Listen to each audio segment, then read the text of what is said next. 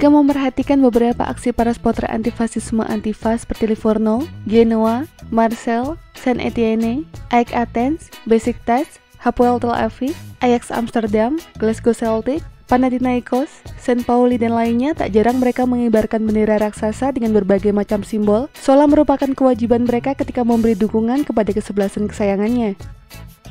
Sebenarnya bendera raksasa yang mengudara itu banyak memiliki makna untuk ditunjukkan kepada publik, baik itu tentang kesebelasan dukungannya maupun identitas ultras itu sendiri. Jangan lupa tekan tombol subscribe dan lonceng untuk mendapatkan notifikasi dari Epic Football.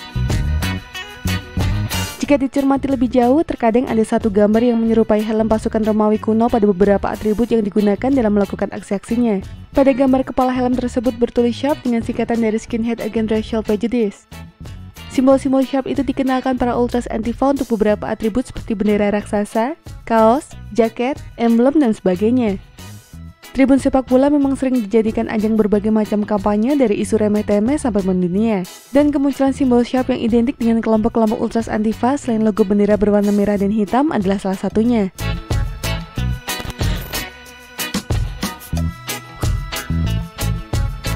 Budaya skinhead dengan sepak bola tentu sangat berkaitan erat karena olahraga tersebut merupakan hiburan bagi para buruh atau kaum pekerja sejak 1960-an.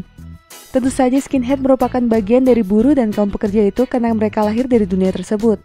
Lingkungan kerja buruh di Inggris sangat keras dan ketat. Terkadang para atasan sering mengintimidasi para buruhnya, bahkan menjambak rambut selain merambahnya kutu-kutu kepala di area pelabuhan.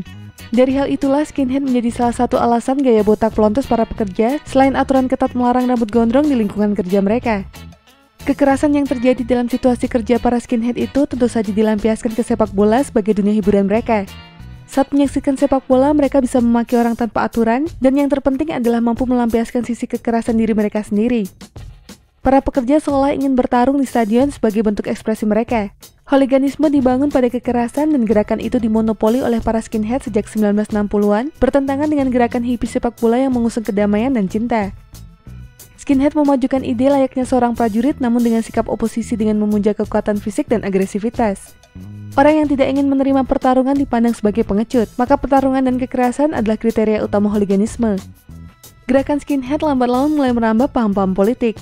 Mereka belajar tentang nilai-nilai melindungi wilayah dan ide-ide nasionalisme lainnya, sehingga pada 1970-an mereka mulai beralih menjadi ekstrim kanan bahkan semakin kuat pada 1980-an.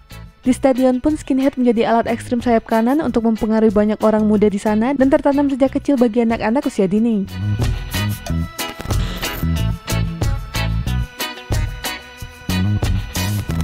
Seiring dengan semakin kronisnya fasisme di dunia, selain skinhead, dari dampak Perang Dunia Kedua pun berkembang gerakan-gerakan antifasis pada tahun 1970-an seperti Social Workers Party SWP, Anti-Nazi League atau INL, Campaign Social Worker Party atau CSWP, dan lainnya termasuk Sharp dalam scene skinhead itu sendiri beberapa waktu kemudian.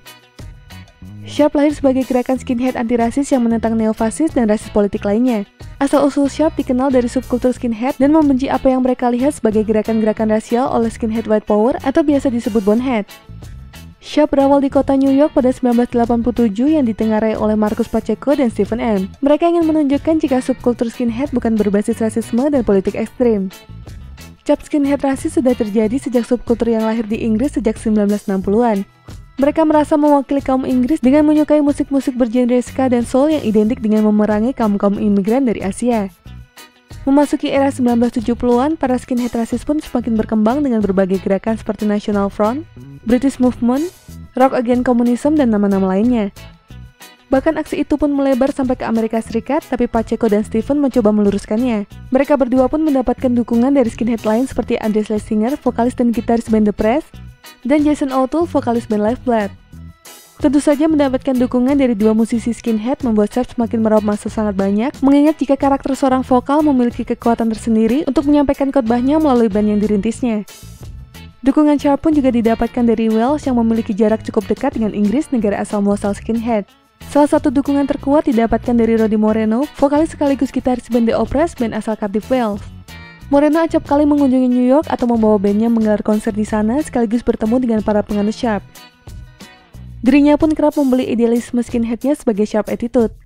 Bahkan ketika Moreno kembali ke kawasan United Kingdom, ia mendesain logo Sharp berdasarkan label Trojan Reggae dan mempromosikan idealisme tersebut kepada berbagai British skinhead.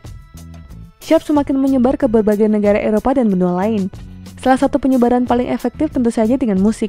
Berbagai pagelaran musik bertemakan antirasisme sering diselenggarakan sejak 1970-an. Para musisi yang terlibat dalam pagelaran tersebut di antaranya Eric Clapton, The Clash, Buzzcocks, Sham 69, Rage Against the Machine, dan musisi serta band lainnya. Di Inggris dan beberapa negara Eropa lainnya, sikap sharp itu selalu ada namun lebih didasarkan kepada individu daripada kelompok-kelompok terorganisir.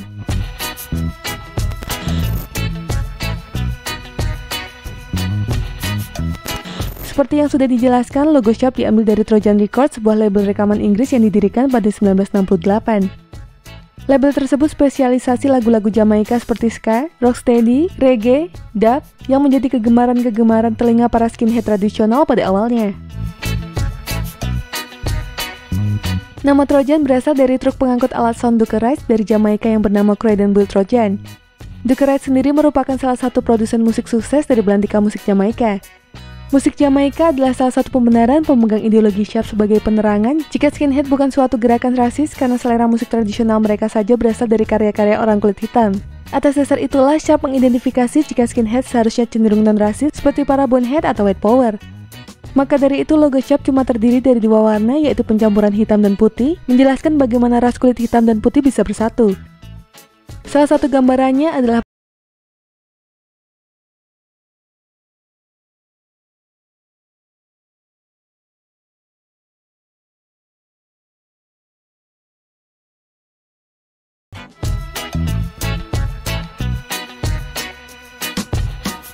Logo Sharp seolah menjadi salah satu simbolisasi perlawanan fasisme melalui tribun sepak bola. Hal tersebut tidak bisa dipungkiri jika baik kaum skinhead rasis maupun non-rasis sangat mencintai sepak bola. Sementara itu, spirit Sharp dianut ultras antifasis karena keselarasan attitude tentang perlawanan terhadap fasisme dalam sepak bola. Hal itu terjadi bukan tanpa alasan, rasisme merupakan bibit dari fasisme yang tidak pernah usai melanda sepak bola internasional, bahkan sudah dibiarkan sejak usia dini. Seperti usai pertandingan Liga Italia Junior antara Prato dan Malisetti misalnya, di mana pesepak bola berusia 11 tahun dihukum karena menghina secara rasis kepada wasit dari bangku cadangan. Para pelaku fasisme merupakan penganut anti globalisasi. Hal inilah yang ditentang para demonstrasi gerakan anti fasis di kota Genoa, Italia. Kampanye-kampanye protes tentang anti globalisasi juga diserukan di tribun. Supporter Genoa memang memiliki sifat keterbukaan kepada para imigran. Hal itu juga bisa dilihat dari beragam pelancong dari Argentina, Belanda, Jepang, Amerika, Spanyol, Islandia, dan negara-negara lainnya untuk datang langsung ke Stadion Luigi Ferraris untuk menonton Genoa secara langsung. Maka bukan tidak mungkin spirit shop dari simbolik Trojan ini terkadang menjadikan salah satu tribun Luigi Ferraris sebagai tempat bertemunya shop dari seluruh dunia. Dan itulah informasi mengenai dunia sepak bola dari Epic Football. Jangan lupa untuk like, share, dan subscribe.